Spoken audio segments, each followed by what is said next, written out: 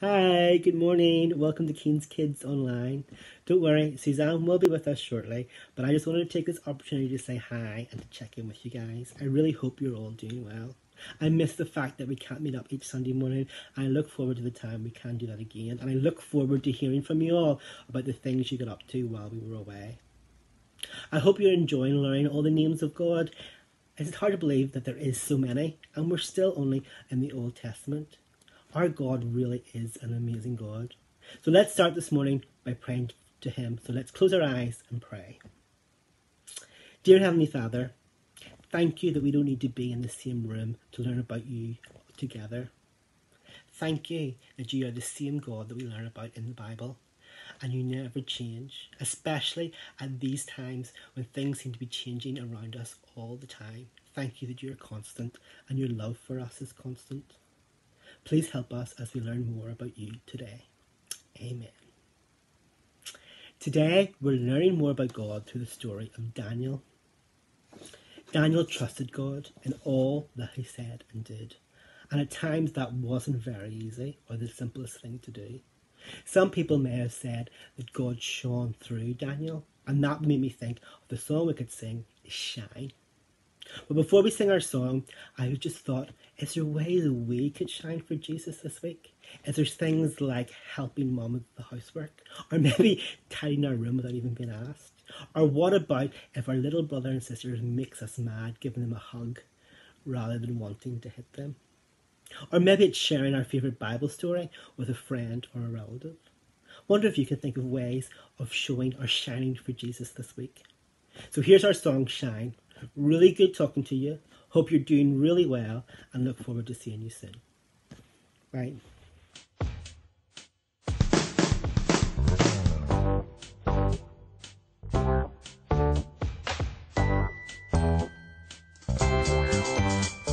Shine from the inside out, that the world will see you live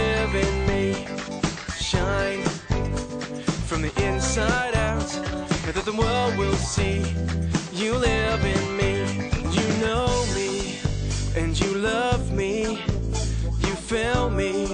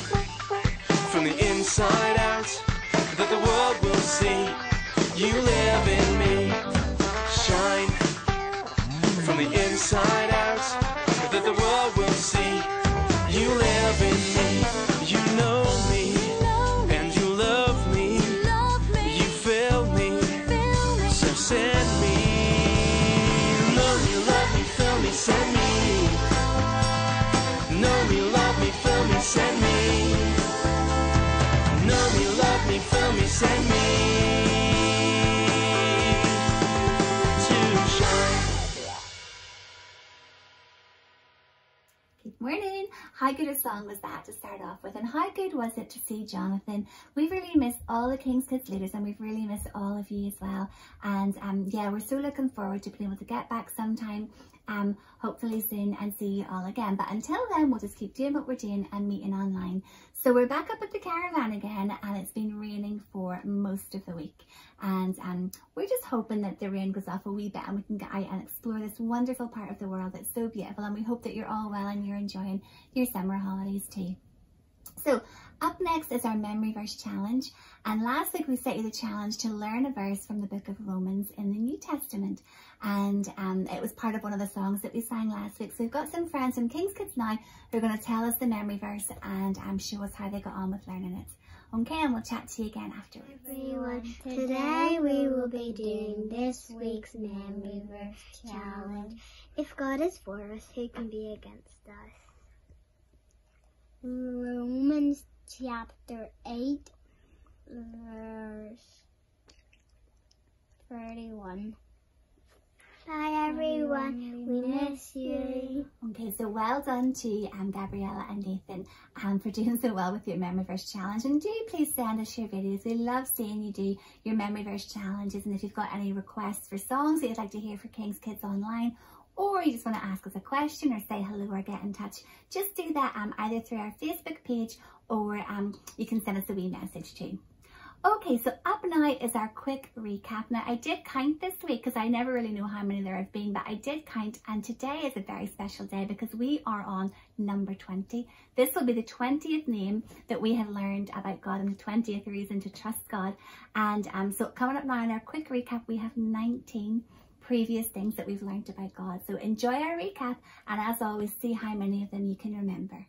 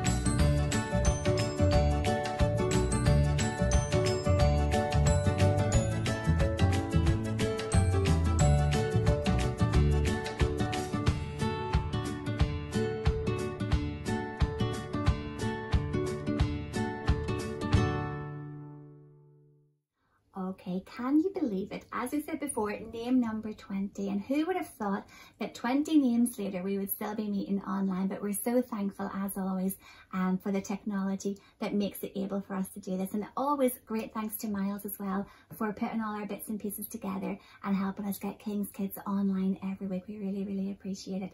And we really appreciate all of you joining with us as well and tuning in for this. So I've got with me something this morning. Where did I put it? Anyone know what this is? Yeah, of course it is a shield. And we hunted all through the caravan because we knew we had one here somewhere and we managed to eventually find it. So the name for God today that we're thinking about is the Lord my shield. And we're going to be thinking a little bit more um, after our wee video clip about why we can think of God as our shield and why it's such a good thing that God is our shield and our defender and our protector. Our story this morning, you might have guessed from some of the pictures here, is the story of Daniel. And um, we've got a wee video coming up now that tells us a bit more about the life of Daniel and what happened when Daniel and some of his friends were taken away from their country to another country and um, how it was hard for them at times during that period, but how they kept trusting in God and they kept doing the right thing. So we hope you enjoy this video clip coming up now and we will chat to you again afterwards. So, part of God's story is about a guy named Daniel, and it goes like this Daniel was a Jew, which means he was part of God's special family. But when he was a young man, a king called Nebuchadnezzar, let's call him Nezer, came in from the city of Babylon and took over. He chose the smartest, strongest, most handsome Jewish men to leave their home and come work for him in his palace. One of those young men was Daniel. Even though most people in Babylon didn't follow God, Daniel and his friends did. So they had to figure out how to obey God and serve the king. For starters, they had to go through a training program where they were fed royal food. The problem was, King Nezer had also offered that food to idols or false gods. And since they followed God, they wanted nothing to do with idols. So, Daniel had an idea. He asked the chief of the king's staff if he and his friends could eat vegetables and water for 10 days instead. If they got too weak or skinny, they'd eat something else. Well, guess what? God made them even stronger than the men who ate royal food. God gave Daniel extra understanding, too. In fact, a few years later, the king had a nightmare. Nobody knew what it meant. Daniel told King Nezer that he would ask God to show him. God did. After that, King Nezer adored Daniel. He even said God was pretty great, which was a big deal, because the king didn't even think about God before that. But soon, he made it hard for Daniel to follow God again. That's because the king built a huge gold statue of himself, 90 feet tall. Anybody who didn't bow down to it would be thrown into a furnace. This time, Daniel's friends were the ones in trouble. Their names were Shadrach, Meshach, and Abednego. They told the king, The God whom we serve is able to save us. But even if he doesn't, we will never worship the gold statue you've set up. So they got sent into the fire. Well, pretty soon the king looked into the furnace and noticed that there were four men, and they were walking around. An angel of the Lord was protecting Daniel's friends. They got out alive and didn't even smell like smoke. God didn't stop them from getting punished, but he did go through it with them. The king had never seen a god who would rescue like that. Afterwards, King Nezer didn't mind if Daniel and his friends worshipped God, but the king still worshipped idols too. So God sent him another dream, and Daniel told him what it meant. King Nezer would live in a field and eat grass like a cow for seven years. In other words, he'd go crazy until he realized that God is the only one we should worship. Kids, God doesn't want everybody to worship whoever they want. He wants everybody to worship Him. Anyway, Daniel kept working for other kings of Babylon, even after King Nezer. God continued to help him understand dreams and visions. And even though he had to give a lot of bad news, Daniel did excellent work, and he was really well liked by the kings. In fact, one king named Darius liked Daniel so much that others got jealous. They tried to get Daniel in trouble. But they knew the only way to do that was to make a law against God. They suggested that everybody pray only to King Darius. That made the king feel important, so he made it a law. Anybody who disobeyed would spend the night in a den of lions. Daniel kept right on praying, though, and when King Darius found out, he was sad. He didn't want to punish Daniel. But now it was the law. He said, May your God, whom you serve faithfully, rescue you. And guess what? God did! He sent an angel to shut the lions' mouths. Daniel served four important kings, and he followed God. But whenever it came down to obeying God or the king, Daniel chose God every time, no matter what. And even though Daniel had to do some really hard things, God was always with him. And that's the story of Daniel. So, in case you missed it, here's the quick version Daniel was taken to Babylon. He asked for vegetables. God made him strong. God gave Daniel understanding. Daniel's friends obeyed God instead of the king. They got punished. God rescued them. Daniel understood more dreams. He was the king's favorite. Others got jealous. Daniel obeyed God instead of the king. He got punished. God rescued him. Daniel served God no matter what.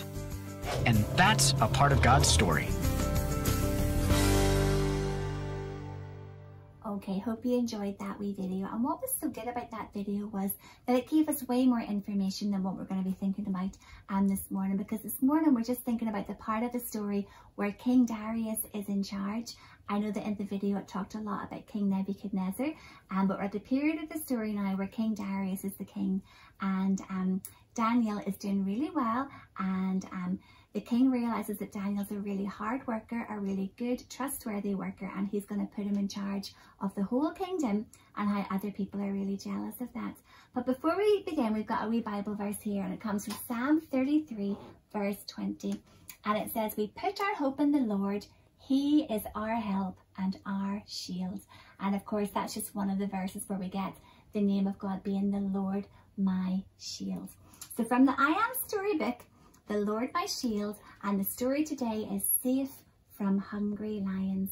And I am sure we've all heard this story before, but it's such an amazing story, such an encouragement to us, and it just shows us what a great example Daniel was, how he was brave and he lived for God, even though he knew that it wasn't going to be easy and that it could get him into trouble and into danger. He still trusted in God to be his help and his shield.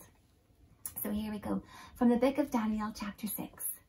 Daniel was one of the Jewish exiles in Babylon and he served the rulers of Babylon his whole life. Now, as you saw in the video clip, Daniel and um, some other men from the kingdom of um, Israel had been taken from their country and taken to Babylon. Um, so when Darius became king, he put Daniel and two other high, off, high officials in charge of all the workers who collected money for the king's treasury. So here we have the king, we have Daniel, and we have some of the other men who worked for the king. Daniel did such a good job and served with such a good spirit that Darius planned to put him in charge of the whole kingdom. And the Bible also tells us that Daniel was a man of God and that Daniel prayed to God and that Daniel loved God and trusted in God. And if he was asked to do things um, that made him uh, likely to disobey God, he wouldn't do them. We saw in the video clip how he was offered food that had previously been sacrificed to the idols that um, the Babylonians worshipped and Daniel refused to eat the food and because he did the right thing, God looked after him and protected him. So King Darius is so impressed with Daniel that he's going to um, promote him. He's going to give him even more responsibility. But of course, there were people who were jealous of Daniel because they were thinking, well, this man's not even from our country. And look, here he is getting the power and the responsibility that we would rather have. So they came up with a really wicked plan. Let's find out. So this made the other high official jealous. They wanted to find a reason to get rid of Daniel. So they watched him carefully, but he never did anything wrong. Now, the officials knew that Daniel loved God and prayed to God in his house three times every day. So here we have Daniel praying. So they came up with a plan and they presented it to the king. Oh, king, they said, we have a good idea. Make a law that no one in the kingdom may pray to anyone but you for 30 days.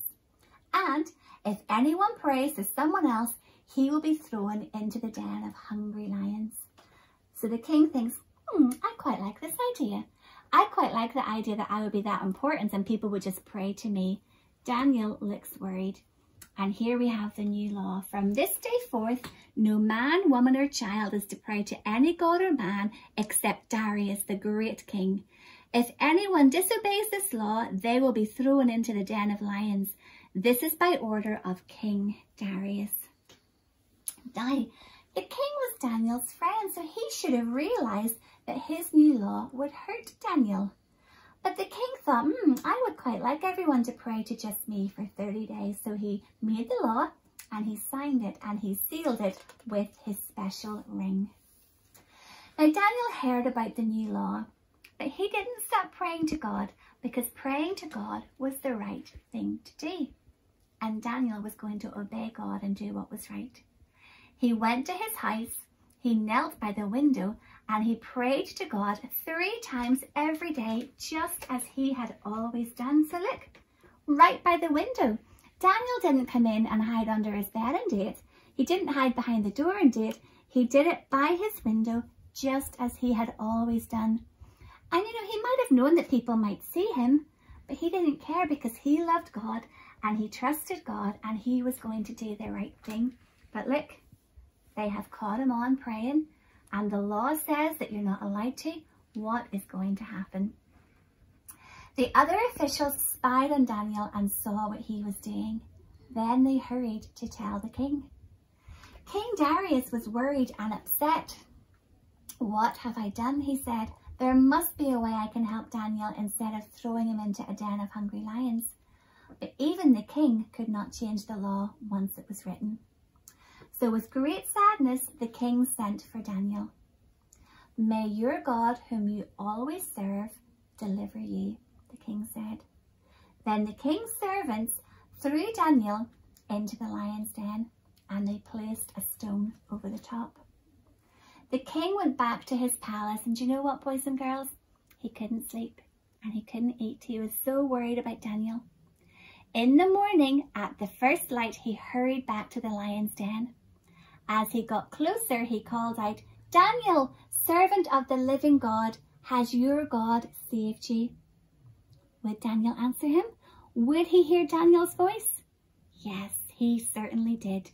O king, Daniel answered, God sent an angel to close the lions' mouths, and they have not hurt me. Wonderful, wonderful, said the king. And he ordered his servants to pull Daniel out of the lion's den right away. Then the king made a new law. Everyone in the kingdom must honour Daniel's God, for he is the living God who has saved Daniel from the power of the lions. So from this day forth, every man, woman and child is to pray to the God that Daniel serves. He is the only living God and his kingdom will never end. He saved Daniel. This is by order of King Darius.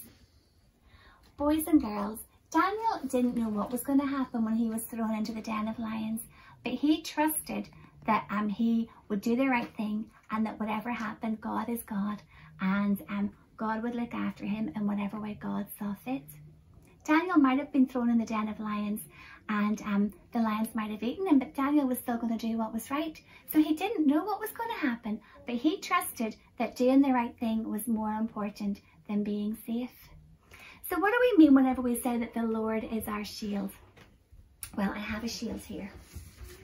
Now, what is a shield for? Whenever um, people went into battle with their shields and their swords, what part of your body did your shield protect?